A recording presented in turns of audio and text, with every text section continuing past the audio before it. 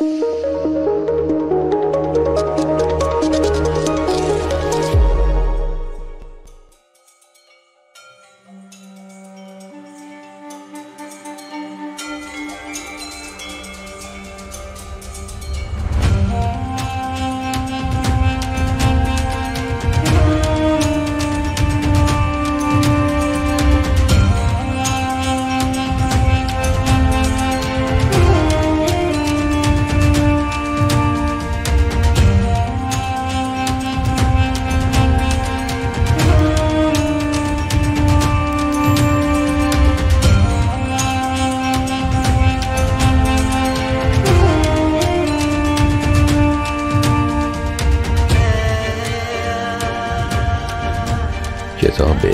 حماسه ستارخواه سرگرد با لباس خوابیده بود چشمانش را باز کرد و خواب آلود بود یوسف علی را نگریست و با تکان دادن سر به او فهمان که خود را آماده می کند.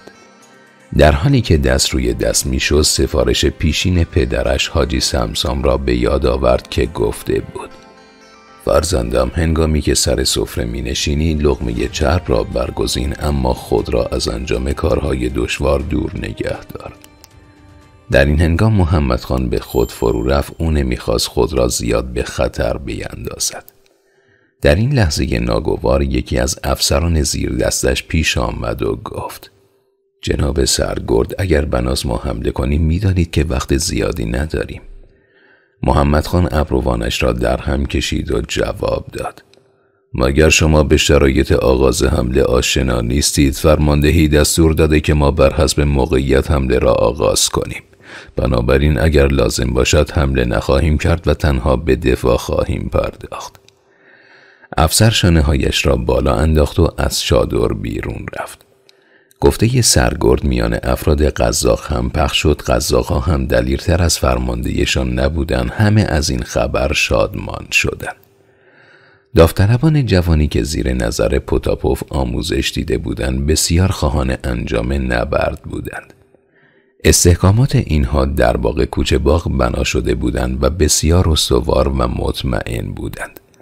اما هنگامی که آشکار شد دشمن در حمله شتابی ندارد ماندن پشت سنگرها برایشان خسته کننده بود میان موازی داوطلبان و قزاقها زمین باز پهناوری بود که داوطلبان از پشت سنگرهایشان به خوبی می‌دیدند که قزاقهای پاسگاه های مقدم سرگرم درست کردن چای هستند. پوتاپوف که وضع دشمن را چنین دید به خشم فرو رفت. آخر به او فرمان تعرض داده نشده بود اما شکیبایی بیکار نشستن و دست روی دست گذاشتن را هم نداشت.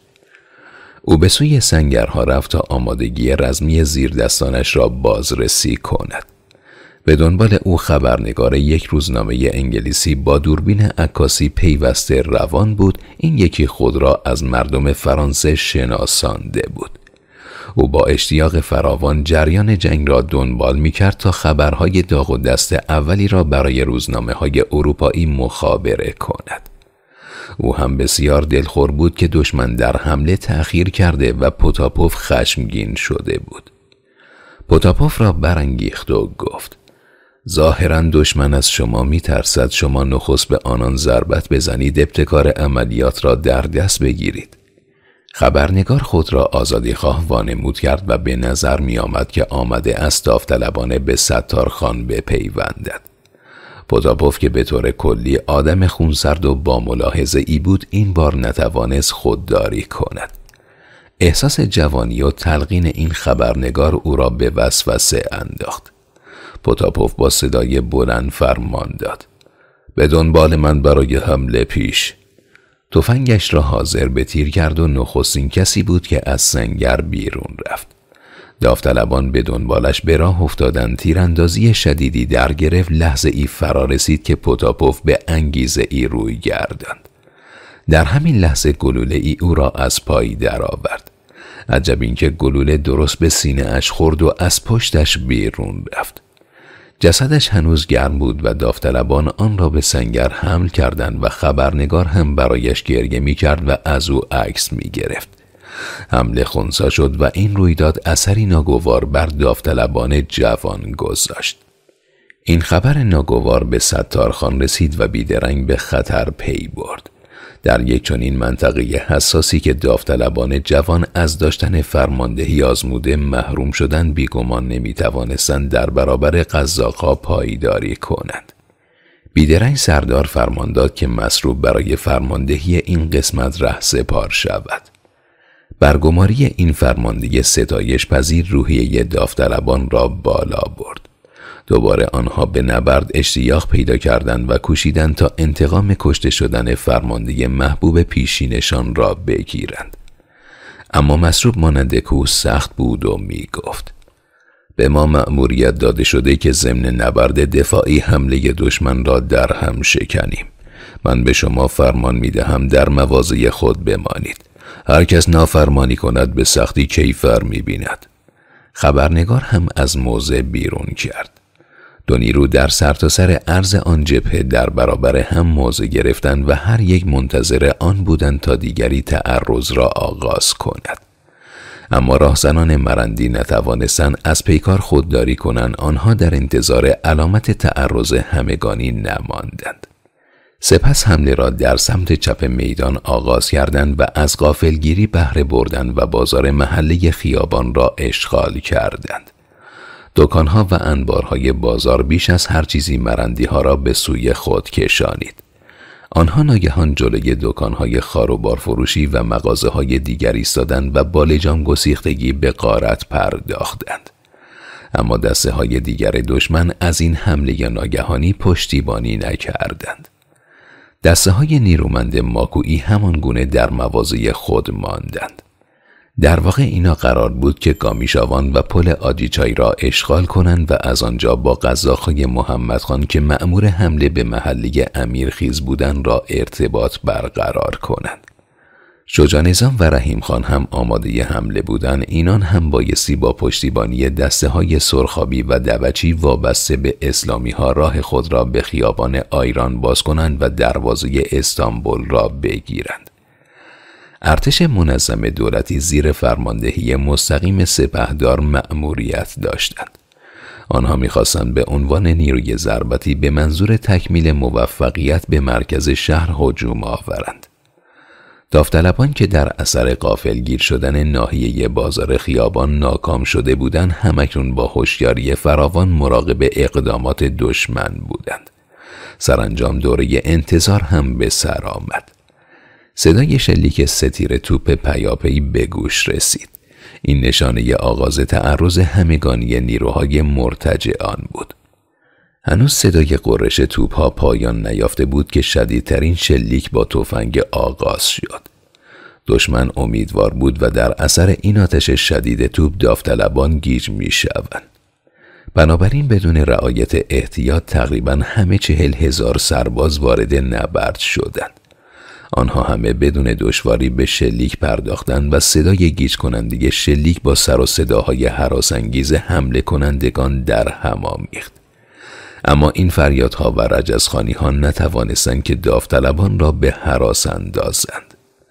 سردار از پیش آگاه بود که دسته های ماکویی از لحاظ شماره افراد از همه بیشتر و نیرومندترند و بنابراین داوطلبان در منطقه حمله اینها به خوبی تقویت شدند.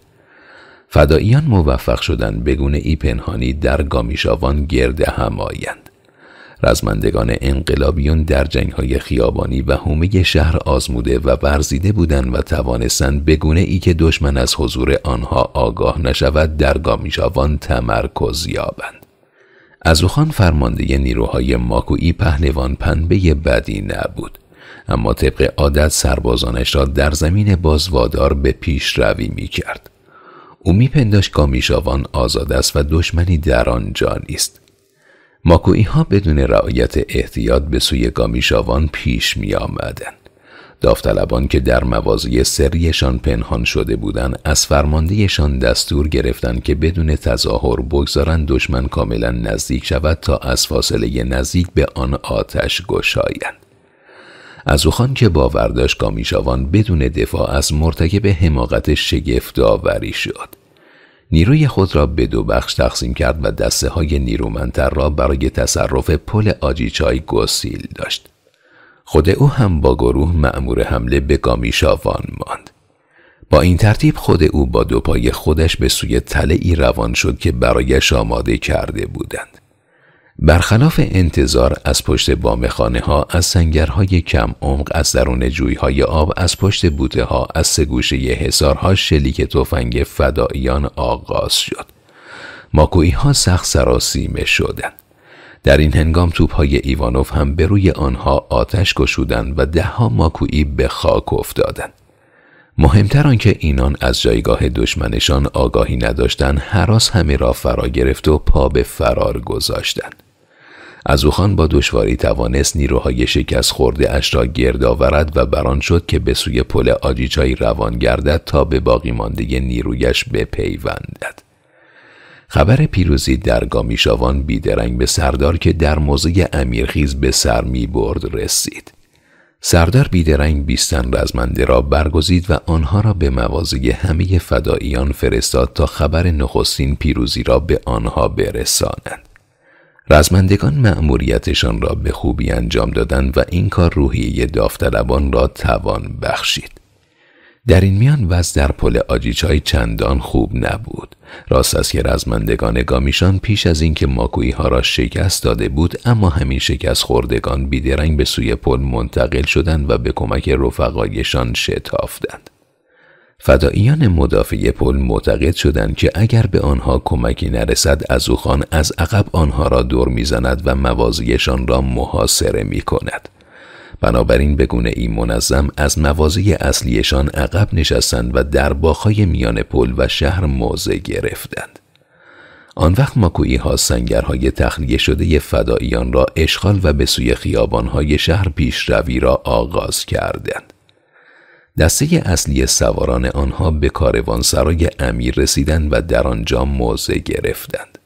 این اقدام برای فدایانی که در باخا موضع گرفته بودند تهدیدی به شمار آمد. از منطقه کامیشاوان همکنون امکان نداشت کمکی به آنها برسد. اما این موضوع بسیار اهمیت داشت که این دو گروه از نیروهای انقلابی تا آنجا که می توانستند هرچه بیشتر در برابر حملات دشمن پایداری کردند و به این ترتیب ماکویی ها را سرگرم نگاه داشتند. سردار که چون این وضعی را دید مأموریت حساسی را به محمود سپرد. محمود بایستی با در اختیار داشتن چند تن کارشناس استحکامات و نارنجک انداز و تیرانداز ماهر ممتاز بگونه ای پنهانی به سوی باغها می‌رفت و فداییان مدافع آنها را تقویت می کرد. محمود این مسئله را به خوبی حل کرد. بسیار زود و بدون از دست دادن وقت وارد محل مأموریت شد.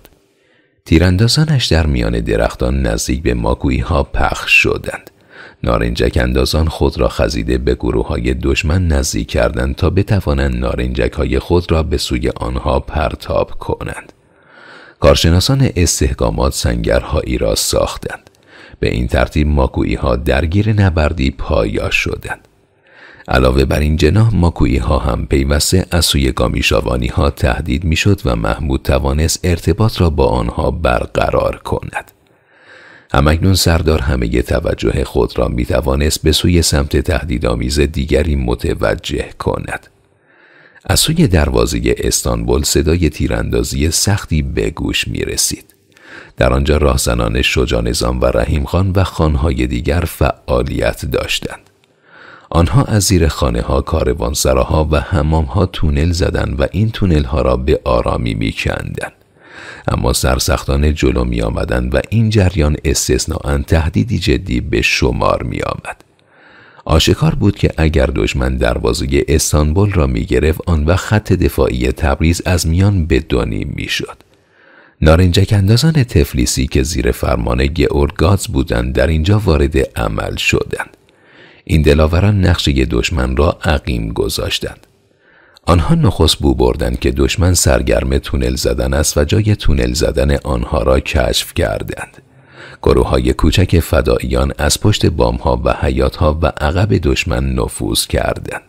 سپس توانستند نارنجک های خود را به سوی معموران تونل زنی دشمن پرتاب کنند. سر و صدا و حراس در عقب دشمن پخش گردید به ویژه یکی از این نارنجک ها با کامیابی انداخته شد و در میان گروه فرماندهی دشمن ترکید موساخان قرداقی و چند تن از سرکردگان راهزنان دیگر از پای درآمدن و قرداقی ها پس از کشته شدن سرکردگیشان عقب نشینی کردند. خانهای شاه و سربازان دولتی به سمت خیابان حمله می کردند. از آنجا باقرخان دفاع می نمود و اینان نتوانستند حتی یک گام پیش بروند. استحکاماتی که به دستور باقرخان بنا شده بودند غلب ناپذیر بودند. در اینجا دامها و کمینگاه های بیشماری وجود داشت. از پناه آنها آتش مستور مدافع آن باز می‌شد و شاه سونها تلفات سنگینی را تاب آوردند. این غارتگران که تنها خو گرفته بودند در زمین های باز و درندش نبرد کنند نتوانستند در برابر جنگ های سنگری و خندقی پایدار بمانند. اینان که در برابر خود نیروی پایداری زورمندی را دیدن در جای خود میخکوب شدند و جرأت پیشروی و حتی تیراندازی را از دست دادند. سردار که از رفع خطر حمله دشمن در سمتهای دروازه استانبول و خیابان اطمینان یافت دست ای را آماده کرد تا به کمک فداییانی که در منطقه باخان نبرد می‌کردند بفرستد. محمود گزارش داد که نیرویش پایان یافته. سردار همیشه چنین عمل می کرد پس از آنکه وضع جبهه برایش روشن می شد شخصا خودش به خطرناکترین سمت می رفت و به مدافعان آنجا کمک می کرد. این بار نزدیک بود فاجعه ای پدید آید. سردار با اطمینان یگان زبده امیرخیزی را با خود برداشت و خواست که به راه بیفتد که ناگهان یکی از فرمانبران فدایی به بهانه اینکه می‌خواهد بند کفشش را ببندد عقب ماند. او عملا خم شد و چنین وانمود کرد که می‌خواهد پوتینش را بیرون بیاورد.